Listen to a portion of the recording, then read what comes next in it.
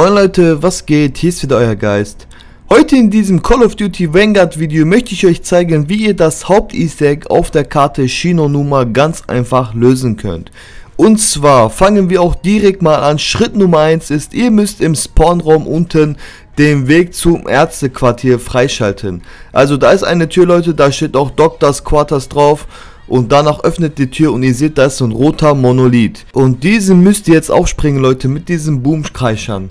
Und zwar wartet dafür am besten auf Runde 5 und wenn ihr drei Stück in der Nähe getötet habt, dann seht ihr, dass diese Verflechtungen an diesem Schrein weg sind. Und nun müsst ihr drei Ziffernräder finden und sie an diesem Schrein da einsetzen. Das erste befindet sich hier hinten im Ärztequartier und zwar in der Ecke links hier neben der Lampe.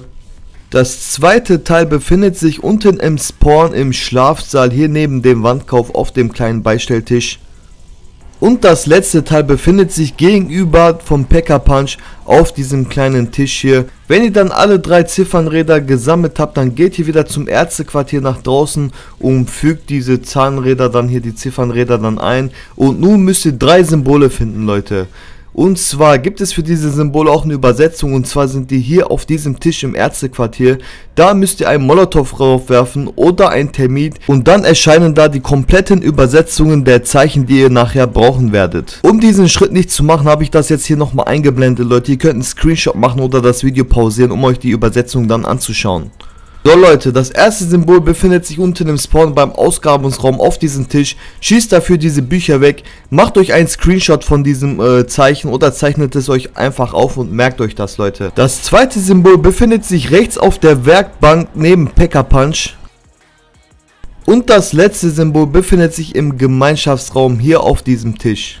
Wenn ihr dann alle Symbole aufgeschrieben habt, dann geht wieder zurück zum Ärztequartier nach außen, interagiert hier mit diesem Rad und äh, wenn ihr das macht, Leute, greifen euch gar keine Zombies an. Also ihr könnt das auch mitten in der Runde machen. Und jetzt schaut eure Symbole an und auf die Übersetzung, welches Symbol das genau übersetzt ist und tragt das dann ein. Die Symbole gibt es nicht doppelt, Leute, also keine Angst. Und ihr könnt halt je nachdem, welches äh, Teil vom Rad ihr anvisiert, ist mit G oder mit äh, Q drehen. Und wenn ihr dann die richtige Reihenfolge hier in die Mitte gemacht habt und danach interagiert, dann kommt so ein roter Nebel und es spawnt so ein Altar hier. Je nachdem wie viele Leute ihr seid, spawnen mehrere Altare und alle Leute müssen dann hier in diesem Bereich sein, Leute. Und gleichzeitig mit dem Altar interagieren, jedoch braucht mindestens einer von euch die Wunderwaffe. Wie ihr die Wunderwaffe bekommt, habe ich euch in die Videobeschreibung verlinkt. So, wenn ihr dann die Zeremonie gestartet habt, dann spawnen eine Menge Zombies in diesem Bereich und ihr müsst auf die Zombies Ausschau halten, die blau leuchten und neben dem Altar töten, um dieses aufzuladen. So Leute, wenn ihr das Ganze nicht schaffen solltet, zu langsam sein solltet, könnt ihr das in der nächsten Runde wieder machen. Und wenn ihr es schafft, dann spawnt so eine blaue Kugel, dann kommt erstmal so ein Dialog Leute, da müsst ihr ein bisschen warten. Und als nächstes müsst ihr zwei Spiegelteile finden Leute. Um Teil Nummer 1 zu finden, müsst ihr zur Fischerhütte nach draußen, hier habt ihr diese Falle, aktiviert diese Falle und ihr müsst eine Menge Zombies töten, rutscht drunter durch und am Ende hier seht ihr einen Brunnen. Und die Zombies fliegen in diesen Brunnen rein und ihr füllt diesen Brunnen mit Zombieblut und dieses Zombieblut braucht ihr Leute. Geht dann zum Brunnen, trinkt von dem Blut und danach lauft ihr im Spawnbereich rum und hier irgendwo sollte eine rote Kugel sein. Geht, sucht die Kugel, wenn ihr sie gefunden habt, interagiert mit der Kugel und dann wird die sich wegbewegen. Ihr müsst der Kugel jetzt folgen und solange die Kugel sich bewegt, Leute, spawnen diese Boomkreischer. Also passt auf und wenn sie dann am Ende stehen bleibt, interagiert damit und ihr habt Spiegelteil Nummer 1.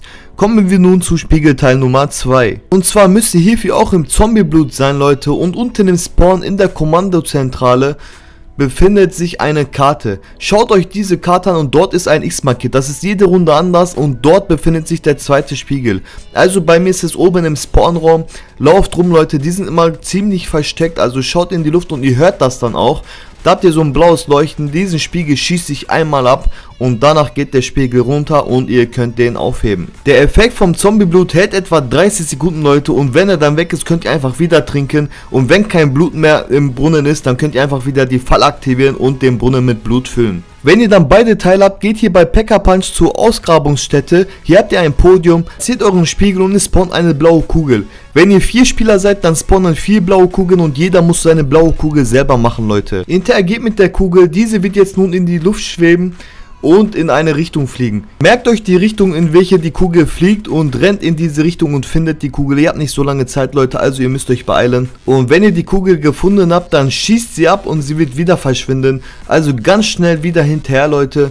Schießt die Kugel noch einmal ab. Das Ganze müsst ihr, glaube ich, dreimal machen. Und wenn ihr das dann zu Ende gemacht habt, dann fliegt die Kugel wieder zurück zur Ausgrabungsstätte. Und wenn ihr dann mit der Kugel interagiert, dann kommt auch schon der Bossfight. Dieser Bossfight ist in drei Phasen unterteilt. In Phase 1 spawnen Zombies, die blau leuchten. Und diese Zombies müsst ihr dann mit der Wunderwaffe töten. Und wenn ihr genug blaue Zombies mit der Wunderwaffe getötet habt, dann spawnt so eine blaue Kuppel. Und in dieser blauen Kuppel ist der Boss angreifbar. Nimmt dafür eine normale Waffe. Wenn ihr genug Damage gegeben habt, endet die Phase 1. Und wenn ihr es geschafft habt, dann spawnen eine Menge Perks. Und falls ihr es nicht geschafft habt, spawnt nur eine Max Muni. Und ihr müsst Runde 1 wieder wiederholen. Aber kein Problem, Leute. Den Schaden, den ihr beim ersten Versuch zugefügt habt, der bleibt noch. Also falls ihr das bei der ersten Phase nicht geschafft habt und dann müsst ihr halt wieder die blauen Zombies töten und wenn die blaue Kuppel wiederkommt, dann hat er noch den Schaden von vorher und ihr geht schneller down. In Phase 2 spawnen nun blaue Boomkreischer. Ihr macht wieder dasselbe, ihr tötet so viele Boomkreischer wie möglich, die blau leuchten mit der Wunderwaffe, bis die blaue Kuppel kommt. Dann könnt ihr dem Boss hier wieder Damage zufügen. Ich mache das auch mit dem Ätherschleier, dann kann ich in Ruhe auf ihn drauf schießen. Und wenn ihr Phase 2 auch beendet habt, dann spawnen wieder eine Menge Perks hier Leute, eine Menge Power-Ups, die ihr aufheben könnt.